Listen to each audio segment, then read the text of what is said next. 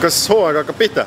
no vaikselt hakkab pihta jah, et äh, ma jätsin igaks juhuks talvemütsi pähe, et kuna talv on ja, ainukene koht on Eesti näitus hallis, kus saab äh, siis äh, rannajalgpalli mängida ja ma vaatan, et Nõmme Kalju on juba kohal, et see on väga kihvt, kutid on juba teevad, täna on juba jaanuari kuuel.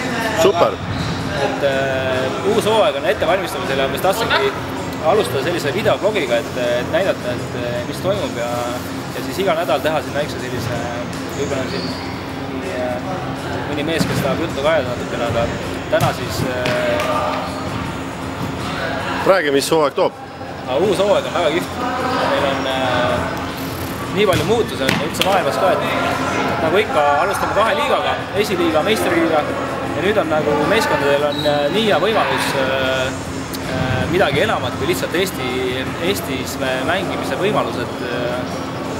et loomisel hetkel Euroopa liigade meistrivõistlused, mis, mis annavad siis Eesti tugevamatele tiimidele võimaluse ennast välis, välismaal näidata ja ja minu meelest on see täiesti meeletu võimalus, et ma vist panen ise ka satsi välja.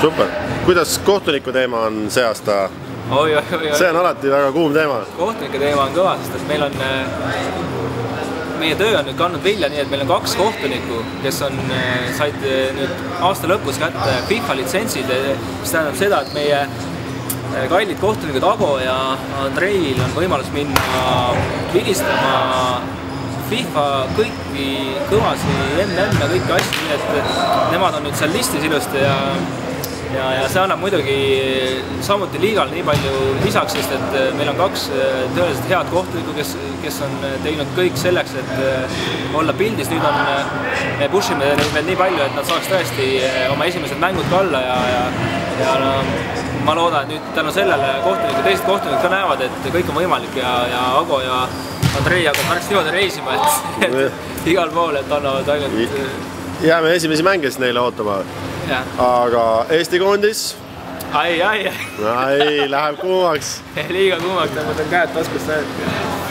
Eesti koondis eelmine aasta noh, näitasime, et me oleme juba tegijad, aga, aga tegelikult äh, midagi jäi puudu eelmine aasta, et natukene kripeldame, et äh, aga nüüd jällegi sellel aastal meil on äh, paigut-, paigutus on suhteliselt hea, nii et me alustame suvel äh, Euroliiga mänge. on juba teada ka, millal?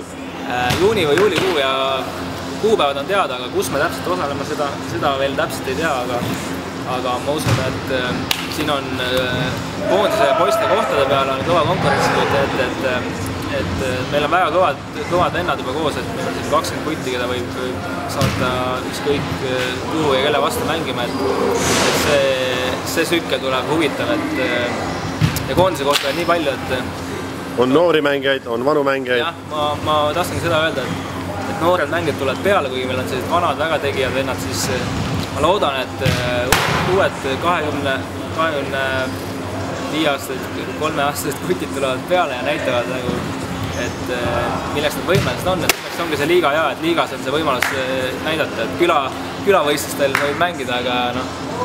super, Kari, hoiame pinget, ärme täna rohkem räägime, järgmises videoblogis ütleme midagi väga olulist. võtke Nõmme Kaljust eeskuju. Nõmme Kalju on tegija, nad on juba siin Eesti näitust tallis ja helistage Eesti näitust ja küsi, kas on veel vabu aegu, et äh, tegijad. kutid liivale kõik. kutid liivale.